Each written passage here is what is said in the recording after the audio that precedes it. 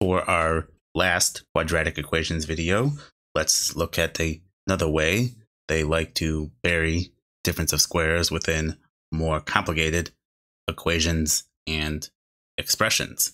So this question here says if 81x to the fourth minus 16y to the fourth all over 3x minus 2y is equal to 45x squared plus 20y squared, and 9x minus 2y is equal to 31, what is the value of x? So let's start by rewriting our equations.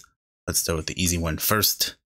Do not forget that you have this information. 9x minus 2y is equal to 31 because it looks like the majority of our time is going to be spent with this guy here.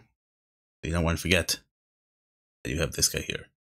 So this says 81 x to the fourth minus 16y to the fourth all over 3x minus 2y is equal to 45 x squared plus 20 y squared.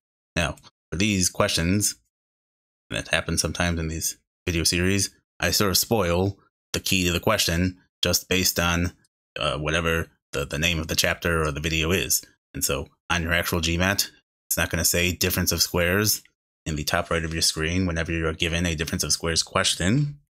And so if you're sort of on alert looking for difference of squares, well, let's think how I would probably actually approach a problem like this when I saw it. I have this complicated equation here, and so I, I always try to start with easy things first. And so I'm not necessarily focused on this guy here. I see the thing I see that stands out is I can factor out a five from my right side. Now, one thing I, I definitely don't want to do is I don't want to try looking for a difference of squares on my right side here because I have a plus sign here. So I'm not thinking, I don't want to be tricked into thinking I have a difference of squares here when I don't. I don't want to be making up difference of squares where they don't exist. So I will just factor out a 5 here. That gives me 5 times 9x squared plus 4y squared. That is all equal to 81 x to the fourth minus 16 y to the fourth all over 3x minus 2y. So, so far, thing, nothing really cancels out or anything. So the question then sort of becomes, uh, is there such a thing as a difference of fourths? Because that looks to be what we have here. And I don't think I've ever heard anybody use that term, but I also don't think that anybody really needs to use that term because anytime that you have an even power, you can express it as a square. So x to the fourth is really just x squared squared. And x to the sixth is really just x cubed squared. And x to the eighth is really just x to the fourth squared etc., etc., etc. So, if we're trying to extract a difference of squares from here, it would be in this format, a squared minus b squared, which means our a squared would be equal to 81x to the fourth, and therefore our a is the square root of this, which would be 9x squared. Our b squared is 16y to the fourth.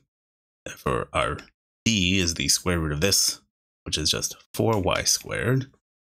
So if we wanted to rewrite this in its factored form, we would have 9x squared plus 4y squared times 9x squared minus 4y squared all over 3x minus 2y. This is equal to 5 times 9x squared plus 4y squared.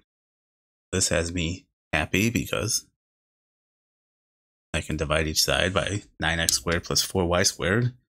Those guys cancel out.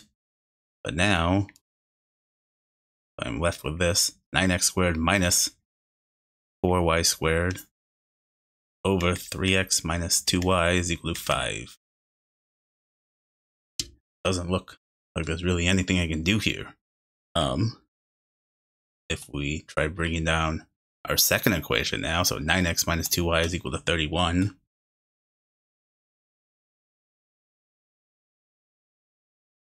And we use this. And even though it sort of looks like we can, I don't think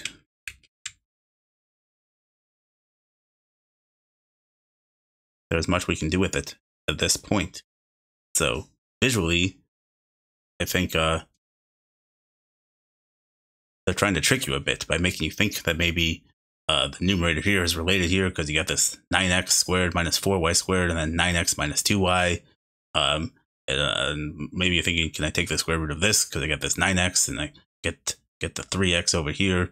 But really, uh, there, there really isn't much you can do. And so this is the important thing about recognizing when you have difference of squares with powers greater than 2. Oftentimes, when you have that, you can do difference of squares twice. So look at what we have here.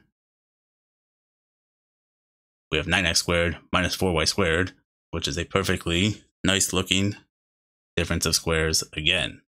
And so this is usually going to be the easy, the easier difference of squares to recognize.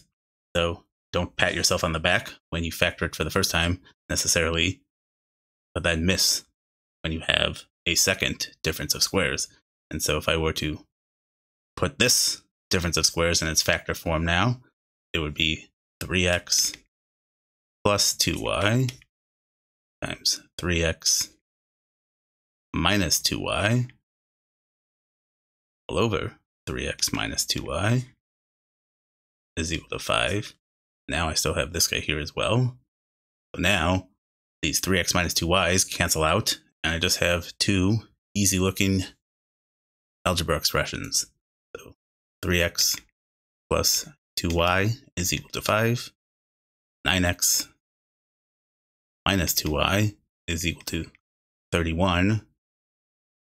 They're asking for x, and just like before, our two equations line up very nicely. If I just add them, my y goes away, which is what I want. So 12x is equal to 36. x is equal to 3.